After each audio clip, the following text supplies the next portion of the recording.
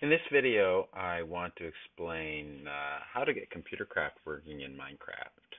So this is something that was confusing me for quite a while, and part of it is just not understanding how mods work in Minecraft, and uh, it can be a little complicated if you're trying to do it manually. So uh, Computercraft requires a version of Minecraft currently 1.5.1 to run, um, and uh, unfortunately Minecraft right now is already on version 1.5.2. So here's here's my version of just vanilla Minecraft, and uh, this is not compatible right now with Computercraft. So what do you do? The easiest way to deal with this is to run uh, another program which is going to kind of substitute for our normal Minecraft launcher, and it's called MultiMC.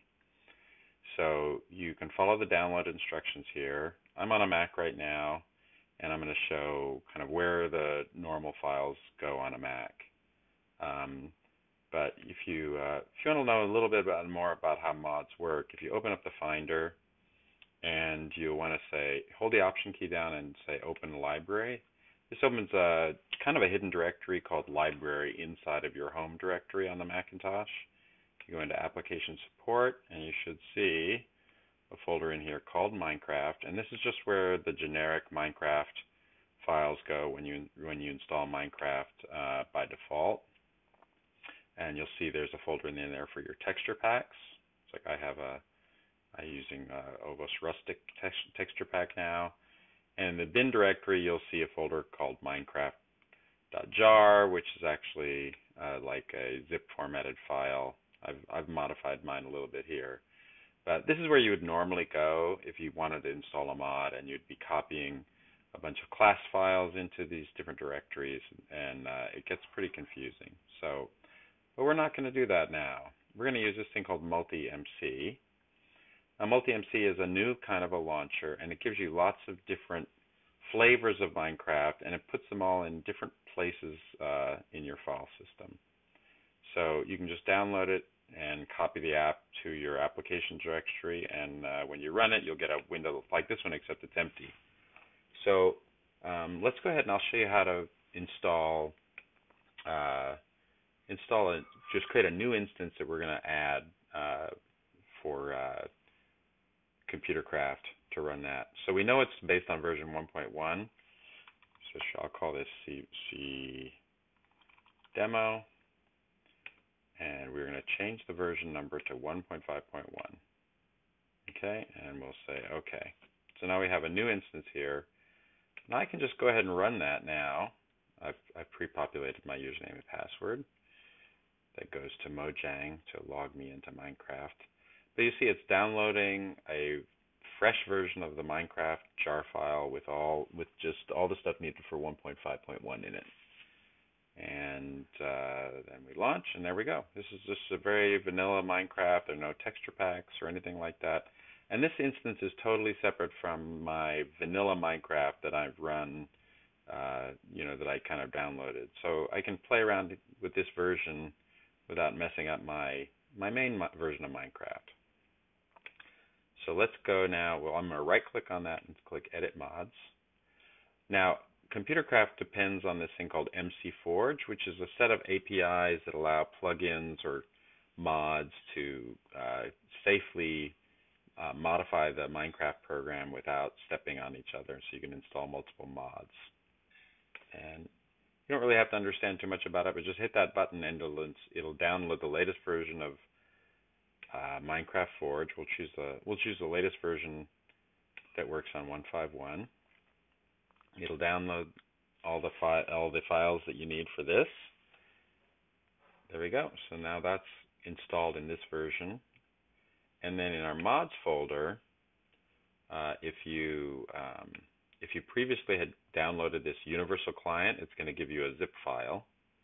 And the zip file, this this is the easy part. So the zip file is really just all you need here. So in the if, once you select the mods folder in MultiMC, go to your download folder and pick that zip file and we're just going to install it and then we are done.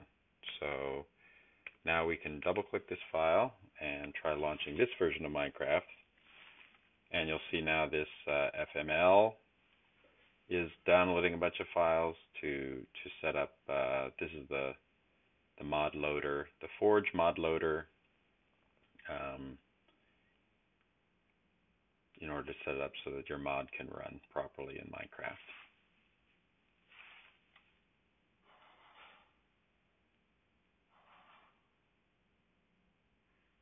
Downloads a bunch of stuff, but this is a lot easier than doing it manually.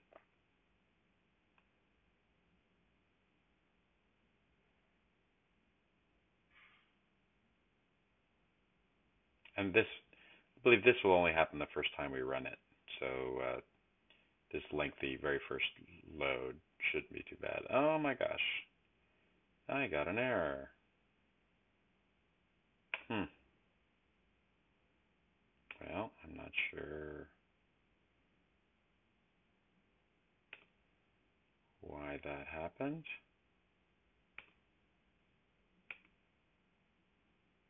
Uh, let's try, let's take a look at this again. Minecraft Forge, mods, Computercraft. That all looks right. Launch it again.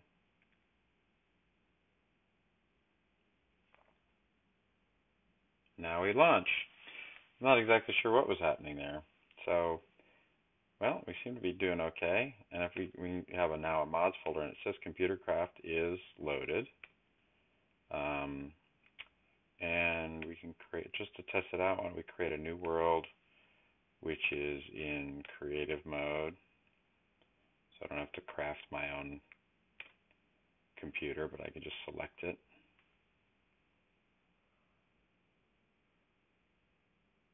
Okay, here we go. And let's uh, go find an empty location.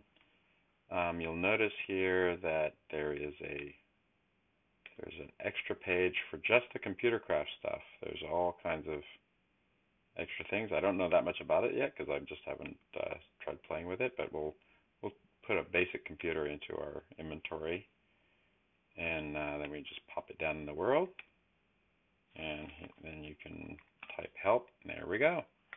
I see programs. What programs are here? Okay. Let's uh, run the hello program.